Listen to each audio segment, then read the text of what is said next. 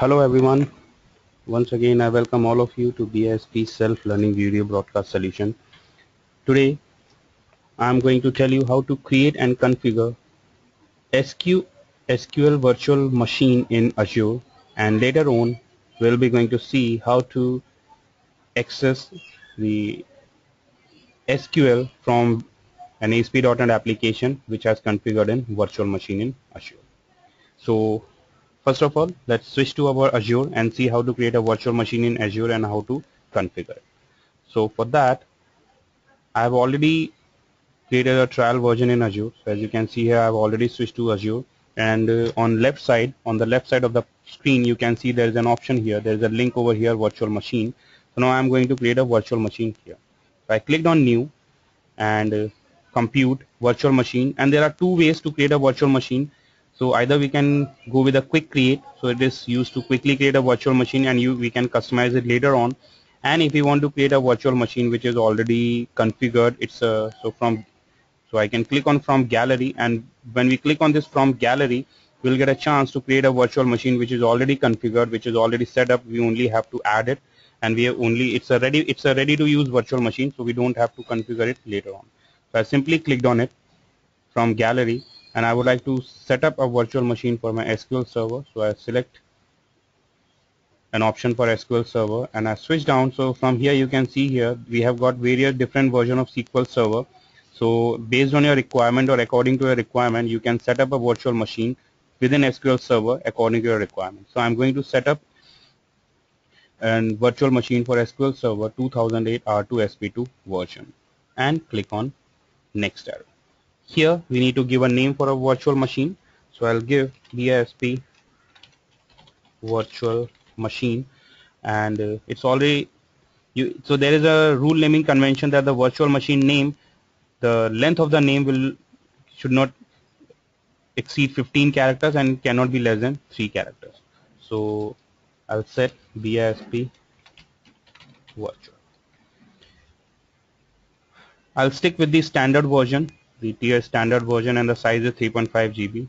I'm going to set a new username for this virtual machine. So I'll set a new username and the password I'll set I'll and click on next. After that, we need to configure a cloud service because what is cloud service? Basically, it's a container for virtual machine, for your virtual machine to be created. So either if you have already configured a cloud service or if you already created a cloud service that is okay. Or we can create a new cloud service for our new virtual machine. So I'm stick I'm going to create a new cloud service for this current virtual machine. And the region is I'll go with East Asia. Storage account to associate an any storage account with our virtual machine. So I have already configured few storage account. So I'll go with my BSP new storage account which will be configured with this virtual machine. And then there are a few endpoints so these endpoints we can configure later on as well. These endpoints are basically are the endpoints. So so this is basically to communicate with your virtual machines. Okay? So I leave it as it is right now. I leave it blank and click on complete.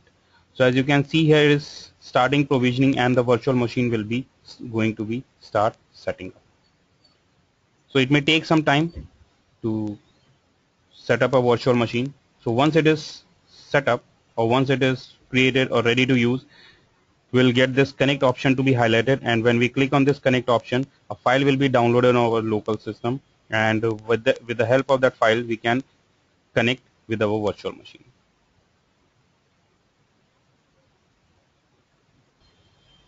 So you can see here the virtual machine has successfully been installed and configured and it's running now. Now I would like to run this virtual machine from my local system. So before running this virtual machine, I need, I need to do some settings. First of all, we need to attach a disk along with this virtual machine. So I select this virtual machine and uh, I select this virtual machine and click on attach a disk because there are no disk attached with this virtual machine right now. So I click on attach disk, attach, attach empty disk that's the storage location and how much size I'll, so I'll give 20 GB of size of my disk which will be going to attach with this virtual machine it will take some time to update and the disk will be attached with this virtual machine so once it is attached successfully we can click on connect and uh, and we can access virtual machine or we can connect to our virtual machine from our local system. So you can see here the disk has successfully attached. Now there are various options on this virtual machine like restart if you want to restart the virtual machine, shut down, attach, deattach disk, detach disk. So the disk we have attached, we can detach that disk, we can capture it and we can delete this virtual machine.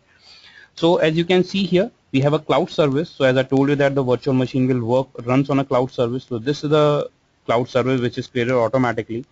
And if I click get back to virtual machine, click on this so there are endpoints. So we need to configure endpoints here. So I click on this endpoints and uh, remote desktop. So I would like to configure a new endpoint for my SQL. So I click on add and add a standalone endpoints.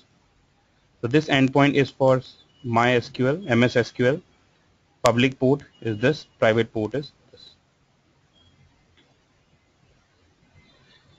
So I want to change the public port. I'll set it to 57500 and the private port I leave it as it is 1433 and complete it so endpoint is created or, or new endpoint has been created. Now let's logged in into this virtual machine from our system or access this virtual machine. So first let this let it complete this process or adding an endpoint to this virtual machine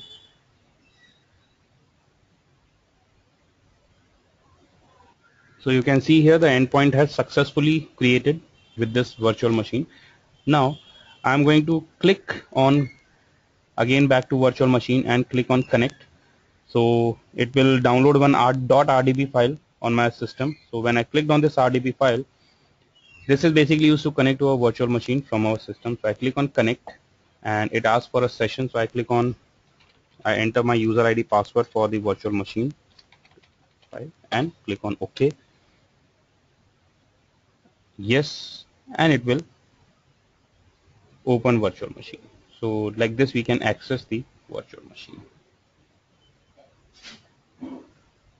So you can see here the virtual machine is starting up and it's a Windows Server 2008 R2 data center and uh, it will configure it. It will configure the required settings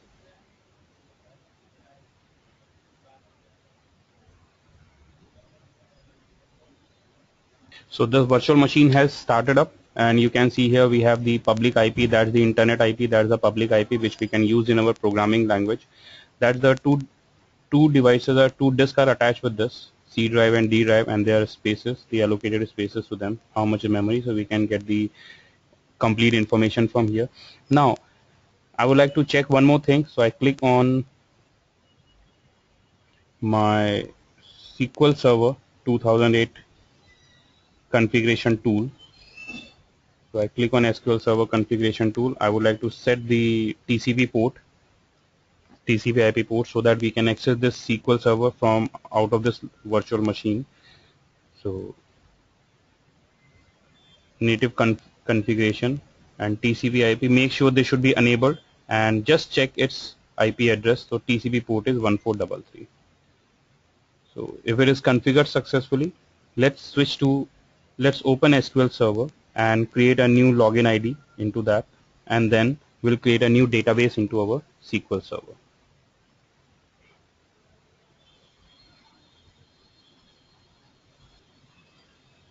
So it's loading first time and it will load SQL Server.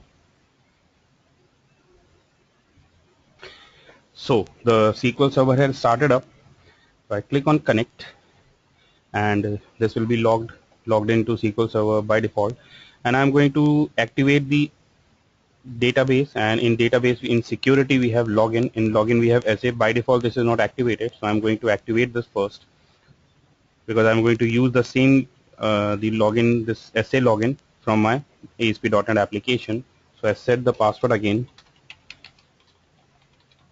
And uh, here as well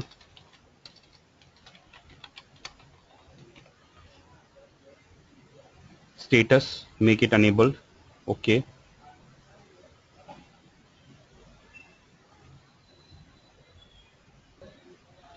So once we set this now we need to change the login. We need to login through SA over here. So before that I clicked on database properties and the security and I change this to SQL Server and Windows authentication mode and OK. So once we're done with this, we need to restart it, restart our SQL Server. So I disconnect from here, I disconnect it, close it, I look for SQL Server Configuration Manager. In SQL Server Configuration Manager, the services are here. This, that's the running service, MS SQL Server. So I right click and restart the service. So whatever changes I have done, I would like those changes to be executed or will be applicable on server, SQL Server. So I just refresh the server. So it will stop the services and restart the services again and it will be working now. Now let's log in into SQL by using SA login ID and password. So here I set SQL Server Authentication SA and enter the password. Yeah so enter password. And enter connect. So it's connected successfully. It's successfully connected. Now very quickly I'm going to create a new database so I'll create a new database in the SQL and I'll give a name product name to that database.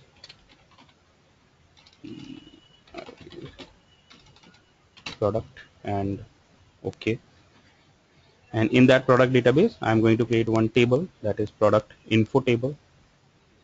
Tables right click new table and the attributes. I'll create three attributes. I want to store product ID data type will be integer. Integer. Then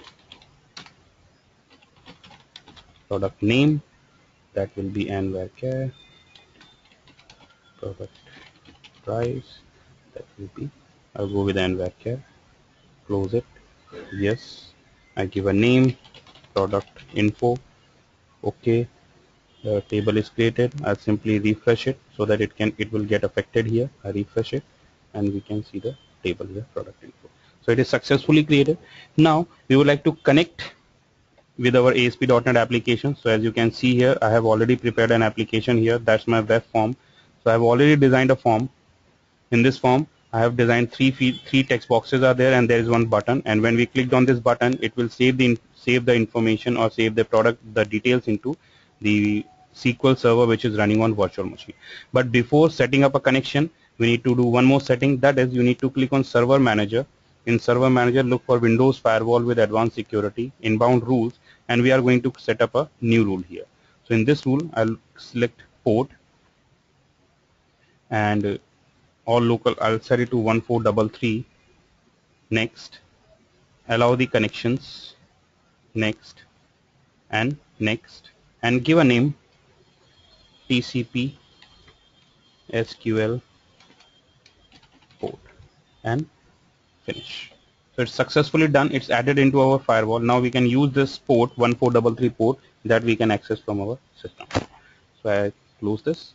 And now uh, let's try to connect or try to store the data into this SQL Server database in this product info table from our local system or from our application which is stored here. So first of all we have to create we have to add a new web application which I have already added in Visual Studio.NET after that I you need to add a web form. In web form you have to design a form like this and then switch to web config. We need to add a new connection string. So that's the connection string. I give a name to that my connection string and that's the connection string you can see here. That's the data source. Data source is equal to B now that's the DSN name. DSN name of your virtual virtual machine. So how to get this name? You can switch to your virtual machine and in virtual machine you can see your DNS name is BISP virtual cloud app.net so you can copy this from here and paste it here. BISP virtual.cloudapp.net that's your virtual machine name and that's the port. You, we have created a public port. So I and after this comma I just add the public port and the catalog is product. Product is the date our database name so our database is product. And uh, in this we have product info table. So and password is SA and username is this password is this. Okay and after that I'll switch to web form and double click on button and just, just write this code to store the data. And this table name is product info. Values is that's the query to insert the record. And I'll just display a message in the alert box that the data has been saved and after that I just make that field blank. So now let's test it whether the record is saved or not. So to test the application we need to simply publish it. So I right click and publish it start preview and I'll publish it on a, one of our web, web app which is already configured on Azure. So there are you need to configure your web app first. So I've already configured a web app here and I'm going to use this FR solutions to publish my application. So I switch here and so you can see here I have used the FR solutions and click on publish. So it will start publishing and once it is published successfully it will open the URL. It will open the web page in a web browser with a form. So you can see the page has been successfully published. Now I'm going to enter the data here. So I enter product ID is 101, product name is football and the price is 1500 and when I click on save I'll got a message that the data has been saved. The fields are becoming blank and now when I switch to my VM and in VM when I look for the records you can see the record has been updated successfully into our VM SQL server.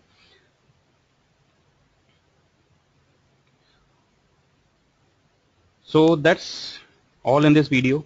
So that's how we can create a virtual machine in Azure and how we can configure it and once it is configured how we can save data into SQL Server which is running on Azure by using our .NET application. So if you have any questions or if you have any queries, you can visit our website www.bisptrainings or you can subscribe our YouTube channel for more videos. Have a nice day ahead. Goodbye.